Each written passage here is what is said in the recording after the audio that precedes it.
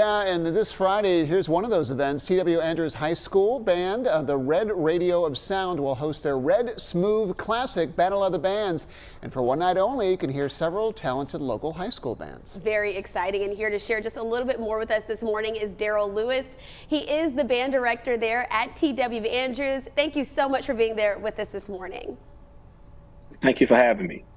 Absolutely. So we have to talk about Battle of the Bands. It's one of those things that really brings the community together mm-hmm. to engage with. I mean, you might be older, been in the band when you were younger, and you go out to see it, or maybe you've got young kids. So you have to sort of explain to us what motivated you to bring this particular event right back here to the Triad.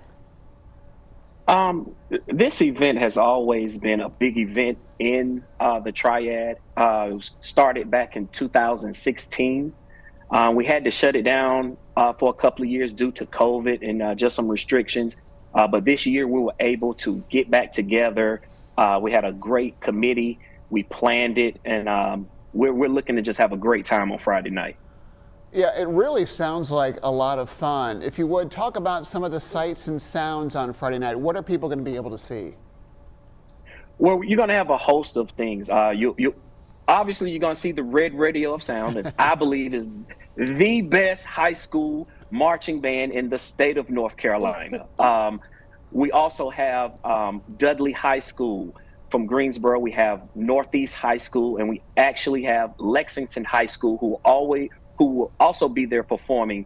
Uh, we have two special guests. We'll be having the North Carolina Central um, drumline that will be there performing, oh, cool. and we will have North Carolina A&T State University's drumline performing as a special guest as well. Oh, that's gonna be amazing. Yeah, that's definitely gonna be amazing. They are legendary and known for their drum line, mm-hmm. we have to mm-hmm. say.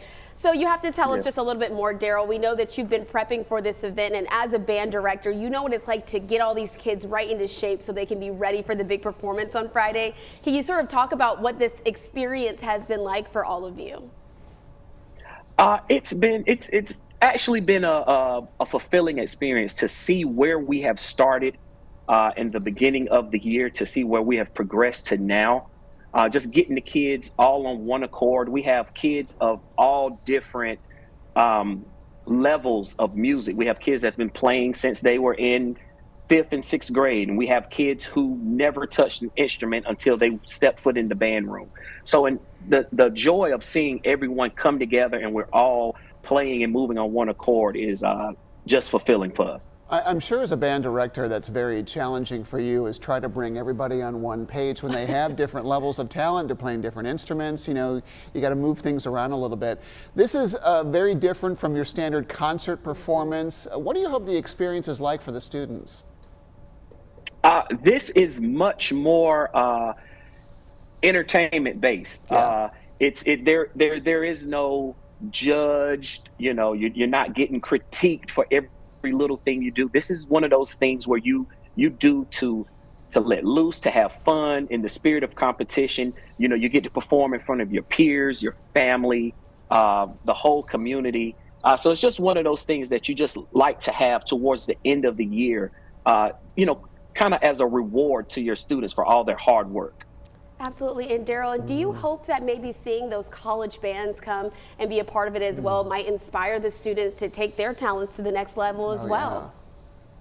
Yes, that is that is one of the big reasons why we have them there. I think um, over the last if, last time I counted, I think over the last five years we've put about 17 students from our program uh, into college on band scholarships. Um, we actually not only just have those two colleges representatives, but we, we also have about five or six more colleges that will be on hand during our recruiting fair. So we're going to have colleges there passing out information about admissions, how to get in, where to start. Um, so we just want to get that information out to people.